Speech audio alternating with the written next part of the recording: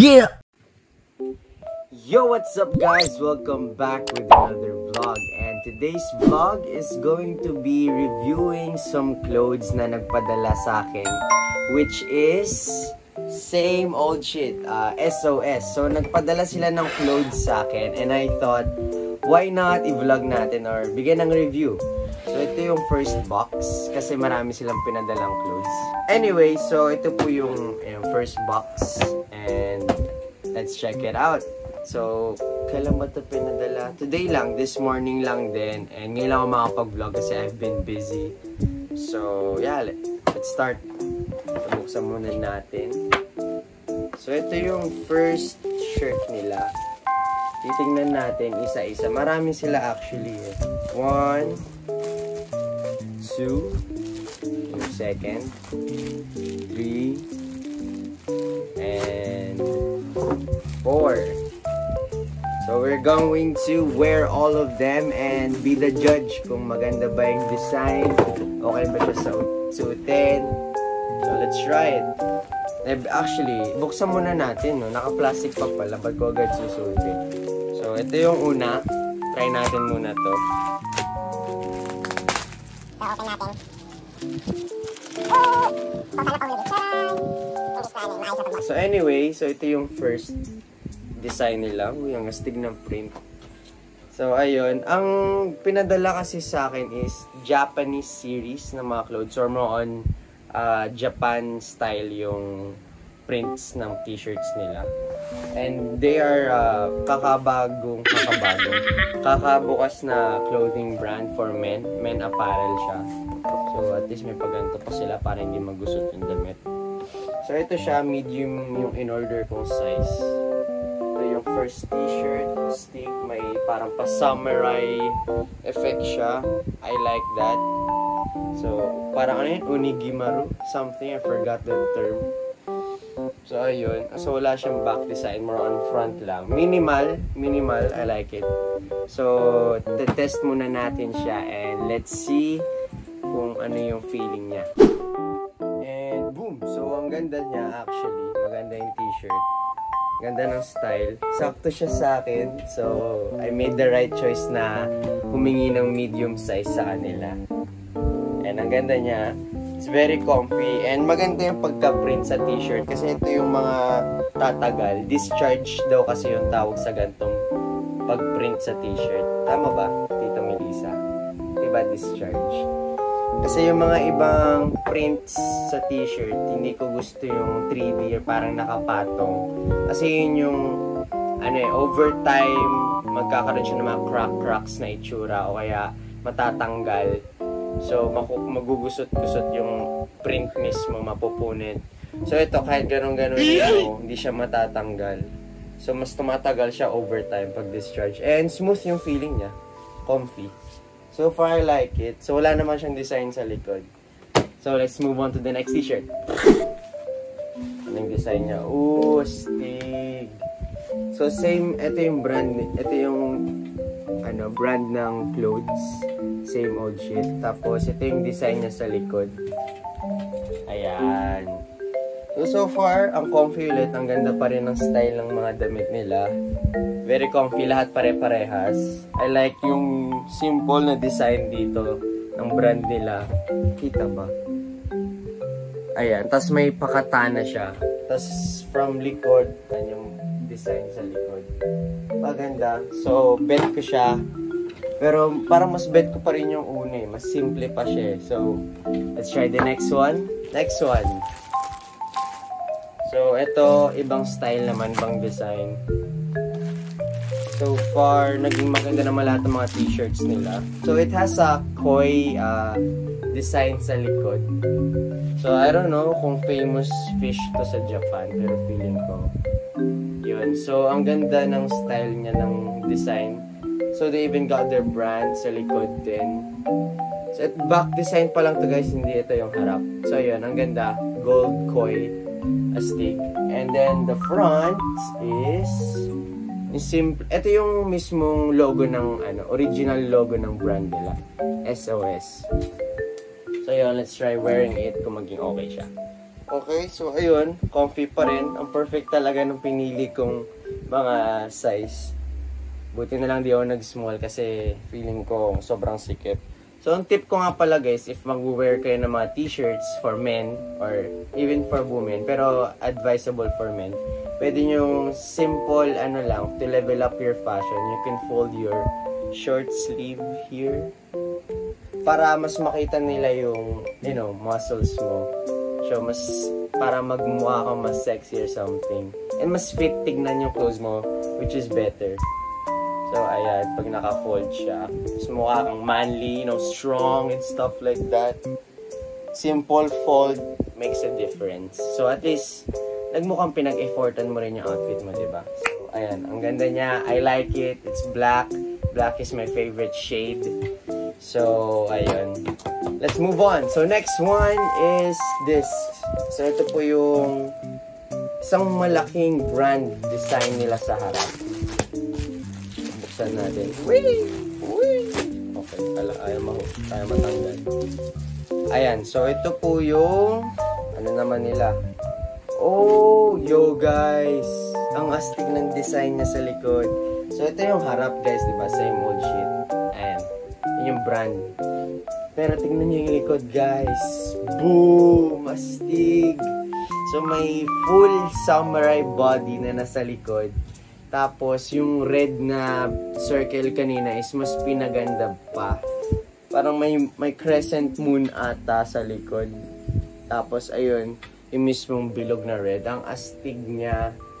Like, walang halong bola or something. I actually like the design.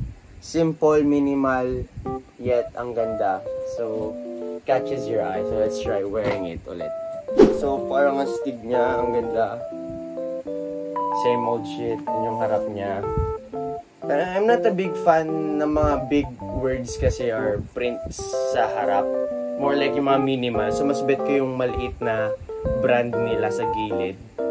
So, siguro, mas pipiliin ko yung maliit na brand nila sa gilid na design. But the one at the back, oh dude, it's so cool. Ang ganda niya. Kita ba? Nalikipak. Ayan, so, ang ganda. Nakatamad tumayo guys, so maharap at tumataligod na lang ako. So yun, I really like this one. But the front one hindi masyado. Kasi yun nga, mas gusto ko mas maliliit yung mga nasa harap. So yun yung first batch na mga clothes na pinadin, pinadala nila sa akin. So far, yung buong black na mga t-shirts, I'd give it a solid 9 out of 10. Lahat ng mga design, quality, and everything. So the next box is another one. So ito naman yung white t-shirts nila. So, I'm not sure kung pare-parehas yung mga design or print. Pero, what I'm sure of is, lahat sila white t-shirt naman. So, ito yung mga white version. Pero, ano naman, I think, parang pare-parehas lang din. Pero, we'll still wear them. So, ito yung una, inuna natin kanina. Let's try it. Pero in terms of quality, feeling, hindi siya mainit suotin.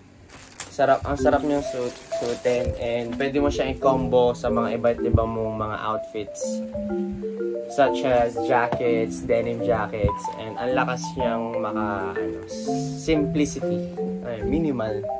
Minimalist. So, ito yung first white t-shirt nila. So, parehas nga lang siya sa kanina. Pero, syempre, iba yung vibes or effect ng white t-shirt tapos white and black. So, ayun. Black naman yung... Kanina ba, ano? Anong kulay ng... Kanina, yung samurai. White yung, ano, design ng, ano, samurai. Pero ngayon, black naman. So, syempre, de- depende pa rin yan sa trip nyo. Pero ang ganda kasi ang dami ko ng mga t-shirts na naman na pwede kong paglaro-laruin. Tapos, depende kung ano yung outfit na suot ko. Pwede, pwede ko mag black t-shirt. Alam mo yun, pwede namang white versions. Meron may black version. Kung ano mas mag-fit sa combo or color combo na outfit ko. So, let's try this. Let's wear it again. So far, I'm loving their t-shirts. Sana maglabas sila ng iba't iba pa. Kasi well, so far naman kasi kakabukas lang ng ano nila, apparel. The owner of this shop nga pala or this apparel is my friend Nico Librojo. So, mamaya na tayo mag-thank you sa kanya. So anyway, ang ganda ng t-shirt. Lakas maka white t-shirt, clean vibes. Sorry, may asong tumatahol. Wait lang guys. Okay, ito. So, di sila titigil. Oy! Kayo, They ask you how you are, you just have to say that you're fine when you're not really fine, but you just can't get into it because they would never understand. Ako tatahol kayo mag-review. Wisit. Ang ingay ng mga aso. Magpalit tayo, sige. So ito, parehas lang din sa kanina. Same print pero white t-shirt. Oh, it's my favorite nga pala. Yung design sa likod. It's this t-shirt. Tapos, with this style. Ooh, parang ang ganda rin ng white version ng print na to. Let's try it. So, ayan. Ang ganda niya. Clean, smooth, white. Wearing na white t-shirts, man. Tapos i-fold. Pag i-fold natin siya, fold natin.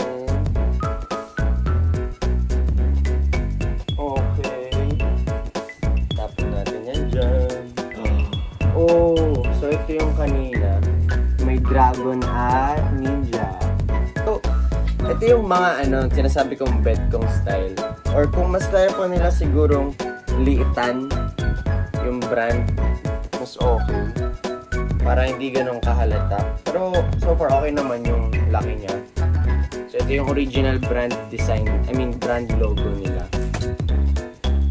And I hope sa next na up, i-release nila is ano, anong series ka, ano? Kasi ito Japanese eh, puro Japanese ang peg nila. eh. Oh, ito yung may, ano, Golden Koi. Boom, panis. So, let's try wearing it. Ang lambot niya talaga, ang smooth guys, ang sarap suotin. And, feeling ko tatagal talaga to sa akin. Tanggalin natin ulit. Whew. So, anyway, mas nagustuhan ko is black kasi favorite color ko naman talaga siya, or I mean shade.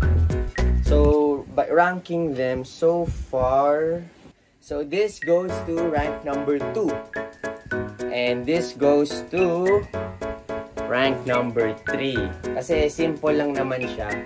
And ang mas pinoportray niya is yung design niya sa harap. Wala siya sa likod. So, mas gusto ko to, number 3. And this goes on number 4. Pero ang ganda rin ito eh. Gusto ko rin to, ano eh, harap niya eh. Maliit lang yung design niya sa harap. Tapos, astig naman din ang likod eh. Pero mas astig, for me ah. For me kasi mas astig tong design niya sa harap. Kung t-shirt lang tong susutin ko. Astig din eh. Siguro, ano, tie sila pareho. It has to be a tie for me. They're, they're both gonna be third And ito nga will be second place. Kasi yung design talaga sa likod. Lupit. So, for our winner is this one. Favorite ko na siya.